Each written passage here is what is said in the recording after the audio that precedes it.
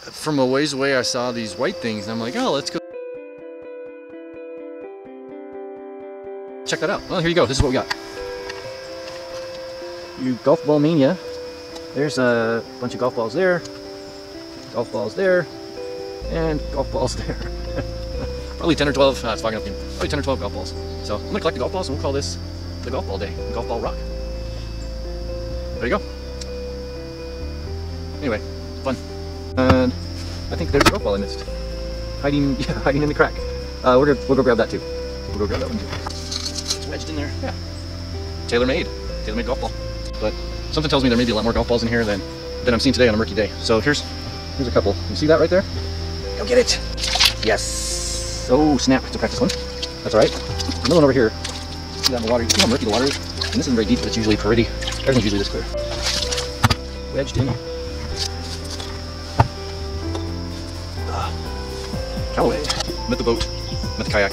Got the golf ball set up. There's 23 golf balls. I think they've been in here for a while. I'll show you why um, as, we look at it, but uh, let's take a closer look. All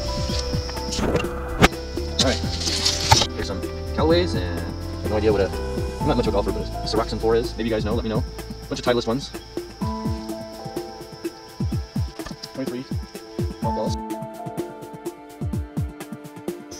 Up on this little kind of flotsam area where you know, a bunch of foam and debris collect. And see if you can see what's in here. See all the, all the balls? Someone was training their dog here. Trash. But look at, I mean, point with my paddle. There's a ball, there's a ball, there's a ball. There's probably like 12, 13 balls in here. Kind of nasty. Strange things in the river. I think this is a basketball. But check this out. So we got logs and everything that collect in your trees. And then perched right on top of that log is a basketball. It's gotta be a basketball. Now we're over by the basketball. So you can see the basketball. I don't know how it could be more perfectly perched. We're gonna do our best to try to haul that out of here. Um, so you can see there's all this stuff that's collected right here. And then we'll zoom in. The basketball is literally just perched right here on this log. So we got a we got a turtle right here, guys. Gonna zoom in on the turtle.